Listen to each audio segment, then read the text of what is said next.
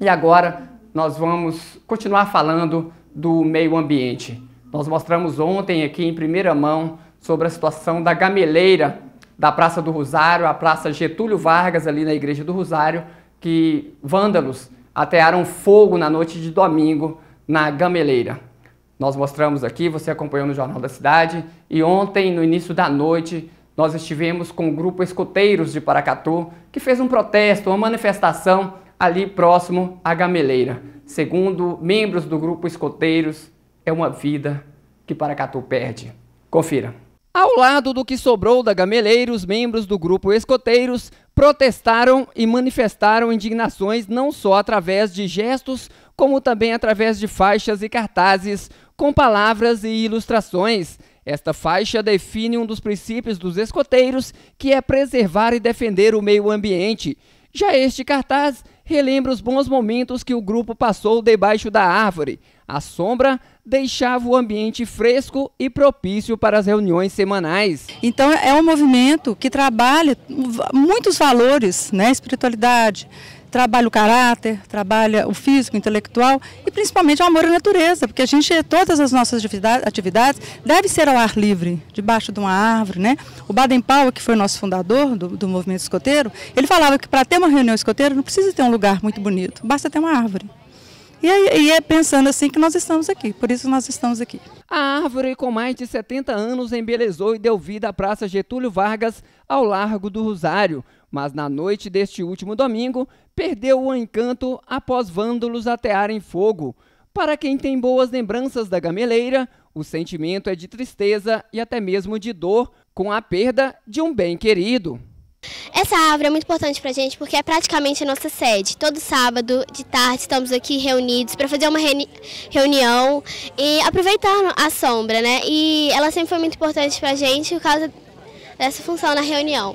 Agora dói ver a árvore nessa situação? Muito, dói muito, porque é horrível, né? Que as pessoas fizeram com ela e era muito importante para a gente, a gente sempre estava aqui reunido, todo mundo é, junto, ah, embaixo da sombra, fazer uma reunião. É muito triste, né? Lógico que a gente acaba lembrando da infância. Eu que estudei aqui no Afonso Arinos durante a minha infância, da primeira a quarta série, saía, brincava aqui, né, no cipó da gameleira. Então, a gente acordar com a notícia dessa é muito triste, né?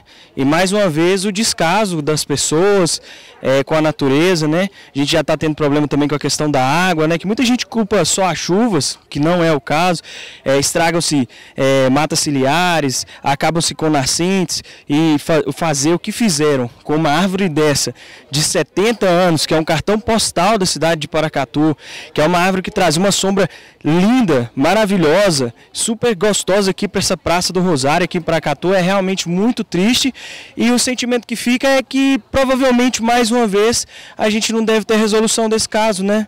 Tomara que dessa vez a gente descubra quem que fez esse crime, que cometeu esse crime, para que possa ser punido, porque fazer isso com a natureza, fazer isso com o cartão postal de Paracatu realmente é lamentável, é um dia muito triste para a gente. É um sentimento de tristeza, uma indignação muito grande. Que uma árvore dessa aqui, ela conta história na cidade. Quantos moradores já passaram por essa é, por baixo dessa árvore aqui, tem histórias para contar dessa árvore. E hoje, infelizmente, a gente vê a vida de uma árvore e a vida de uma cidade indo embora, que essa árvore também conta a história dessa cidade. Deveria ser diferente, deveria estar plantando árvore ao invés de destruir, né? Sim, deveria ser muito diferente, né? A cada árvore plantada seria um mundo melhor e a cada árvore destruída um mundo pior. Uma situação bem triste, né? Porque, igual, já participo do escoteiro há mais de 10 anos, estudei na, no Afonso Arinos aqui e ver que a árvore teve um fim trágico desse, por pessoas que não tiveram amor, não tiveram compaixão com a natureza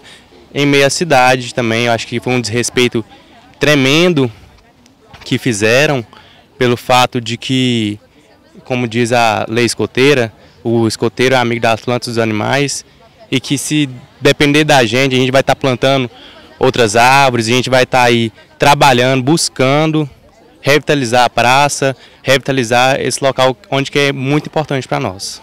O assunto é tratado como crime ambiental e contra o patrimônio, e todos esperam que os responsáveis sejam identificados e punidos.